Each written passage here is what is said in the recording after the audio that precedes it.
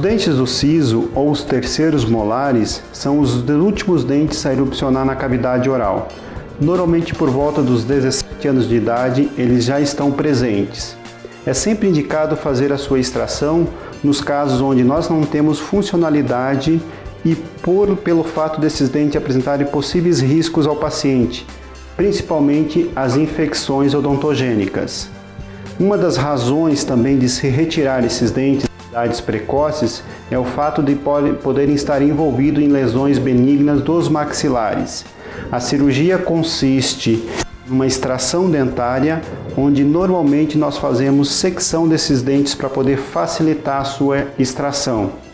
O paciente ele apresenta um pós-operatório relativamente confortável e é um procedimento que ele pode ser realizado em ambiente ambulatorial.